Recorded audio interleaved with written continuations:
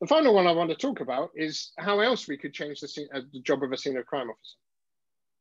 And this is an interesting question. And for me, this is a thing that I've recently got interested in, maybe in the last three, four years, thinking the biggest problem with a scene of crime officer is the fact that the officer has to go into the scene of the crime in order to identify anything. so that could lead to contamination, which has a huge effect. That could lead to the officers themselves being contaminated. A classic example of this was in the Salisbury poisonings. In fact, it was the, the police officer who went into the house of the Skripals who became the most one of the most affected by or because he was in hospital for so long because he entered the scene of crime and he actually handled the material. He handled the doorknob where it was. He then brushed his face and, put, and rubbed his eyes. And that, that was what actually caused him to get infected and take this in. Now, obviously, he wasn't, because he wasn't expecting it to be a crime scene, he wasn't wearing full protective kit like these people in the, photo, the photograph are. But still, that problem exists that currently scene of crime officers enter a scene often without any knowledge of exactly what's going in there and without able to prepare and potentially contaminating or causing other issues. So I asked the question, what if we could replace a scene of crime officer, a SOCO, with a drone? And we're doing this. We're working, and this is quite an old photo of an old drone that we had, in fact, it's an old stock photo, by actually looking at putting instrumentation onto drones in order to fly them as a first port of call within crimes into a crime scene. So we can get rapid, real-time, non-intrusive access to crime scenes. You no longer have someone walking in or touching surfaces. You can have something which is much more controlled, actually passing through a crime scene and identifying the particular things that we're interested in. And we do this by not only going in and having visible cameras on there, we do this by putting a whole variety of different sensors onto the drone in order to be able to, to identify what's in there. And that comes back to what I've talked about before, because we care about being able to look at these things, but a drone is reliant on, has a battery life. And if we want to put heavy bits of kit on there, that battery life isn't going to last very long. So we have a problem.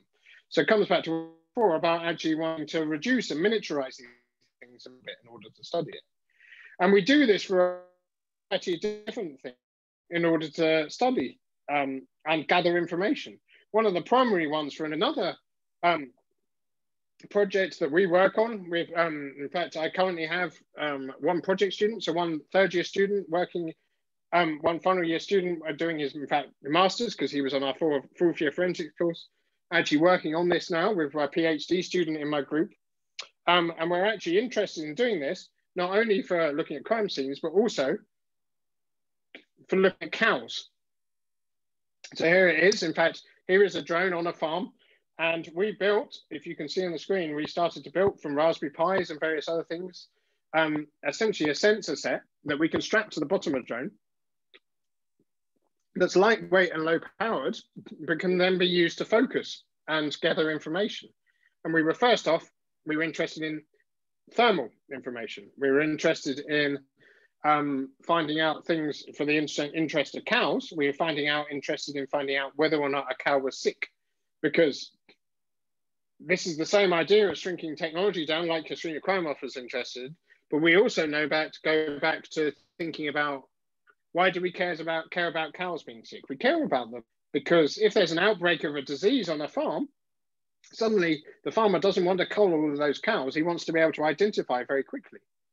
In fact, we've got a very relevant thing for now, where if any of you have been over the summer, went through any airports during the, the pandemic, you would have found that you walked past a load of thermal cameras, which would have been used to try and identify whether people had an elevated temperature.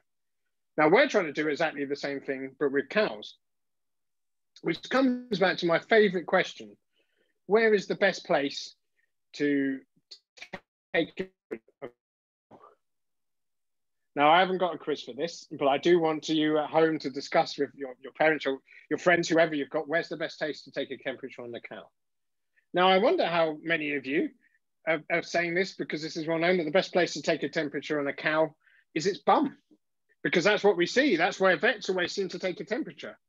In fact, I mean, I don't really know why vets do that. That's not the best place to take the temperature of a cow. Well, I do know why they do it, but actually, there's a lot of error in this.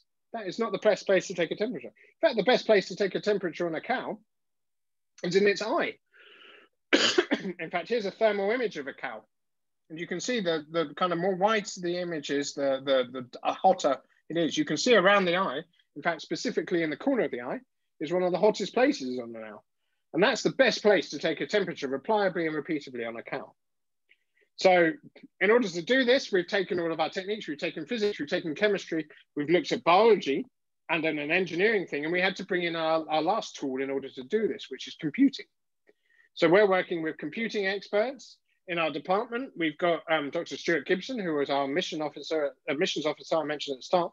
He is also, a, he's, he, he designs and works on a lot of machine learning and computational diagnostics for forensic uses, as well as being involved and in, he has his own spin out company, which was used for the analysis of um, for, for, for using for EFIT software that a lot of our police forces use across the country.